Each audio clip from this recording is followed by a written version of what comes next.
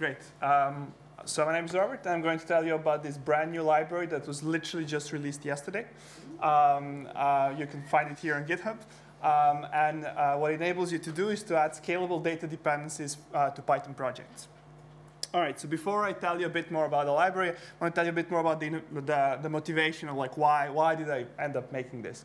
So I started my career like uh, in data science and machine learning about nine years ago, and I used to manage my data manually, uh, syncing files, uploading, downloading. Uh, but then there was, and initially that worked well, but then there were some disasters, some files were overwritten, uh, months of work lost, and so on.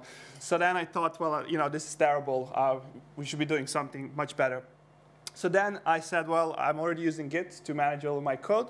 Uh, so why don't I use uh, Git to also manage all my data? So for, for Git, there's this thing called Git LFS that enables you to efficiently store all of your data in, in, in Git.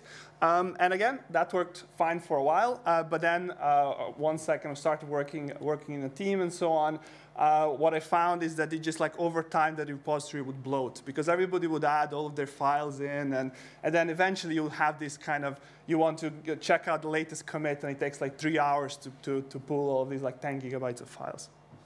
So that didn't scale either. And I was sufficiently annoyed with this whole thing uh, to say, well, actually, we need a, a new solution uh, and actually kind of sit down and, and try to write it. Um, and that's kind of how lazy data was born. Uh, and the idea is essentially we want to store our references to files in Git so that so we, we still get this kind of uh, benefit of being able to, to version everything. Um, but then we don't want to pull the data automatically. We want to be able to kind of programmatically lazy load it whenever we need it. So that enables us to, to treat our storage backend as kind of a black hole. So you just put everything there, and you just get files uh, as you need them and when you need them. So hopefully, that so far this has scaled, but we'll see. um, all right, so you do pip, pip install lazy data. So what happens next? Uh, so um, here's a simple script. Uh, the only thing you need to do is really to add uh, two lines of code. So obviously the import. And then the second line of code is this track. Um, so what track does is just uh, is just going to start tracking this uh, this data file that you give it as a parameter. So when I run python myscript.py, uh, that's going to then say, well, I'm tracking a new file. Uh, so what does it mean that I'm tracking a new file? Well, we're going to take this file, we're going to hard link it to a local cache. That means we're just going to make like an efficient copy of it. And we're going to calculate the hash of it, a, SHA-256, we're going, and we're going to add it to this lazydata.yml file. So this lazydata.yml file essentially has all of your files that you currently have that are kind of currently linked to your project, to your, to your, um, to your Git repository. Um, and in this, in this case, I just have one, one file, but I could have many. Uh, and this is a file that you would keep in Git. So this is kind of what assures that like at this specific Git commit, I was using this specific file. All right.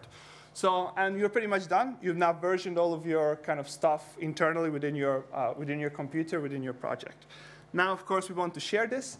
Um, so we're going to add a remote. Um, in this case, I'm going to use S3, and I'm going to do lazy data push. So that's just going to take all the stuff I have locally cached and just push it to S3. And then uh, my collaborators can pull the code. Uh, they, with the code, they'll get this lazydata.yml, and they can download individual files if they want to, or directories or whatever. But they can also just say python myscript.py. And what this is going to do is it's going to run that same script, and, what, and when, um, again, we get that track command, that's now going to check, it's going to see that we have a file that we are tracking, but it's not present in the local copy. And it's going to say, OK, I know where to find this file because I know what the remote is, I know what the hash is, I'm just going to go and download it. Uh, so essentially, if you're just kind of rerunning someone else's script or just kind of going in someone else's notebook, you can just use it, essentially, and it works. And that's pretty much it. Um, you now have a Python project with data dependencies. Um, obviously, this is a completely new project, so I think a, a lot more is, is, going to be coming soon.